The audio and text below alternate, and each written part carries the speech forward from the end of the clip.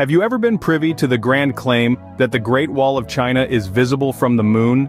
A statement that, if true, would surely make this ancient marvel an even more incredible testament to human ingenuity. However, this popular belief, as fascinating as it is, is not grounded in reality. Contrary to popular belief, the Great Wall of China is not visible from the moon without aid. This notion arose from a time when space travel was still the stuff of science fiction, and the idea of seeing man-made structures from space was an exciting prospect.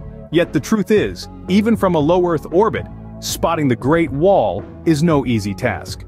The myth of the Great Wall's visibility from the moon was debunked by none other than China's first astronaut Yang Liwei, who confirmed in 2003 that he could not see the impressive structure from space. This revelation shouldn't come as a surprise, Consider the moon's distance from the Earth, a staggering 238,855 miles. At this distance, most of Earth's features blend into a beautiful swirling palette of blues and greens. In essence, the Great Wall, which in reality is less than 30 feet wide in most places, is simply too narrow to be discerned from such a great distance, even with the naked eye's astounding capability. To summarize, the claim that the Great Wall of China is visible from the moon is a captivating tale, but it's just that, a tale.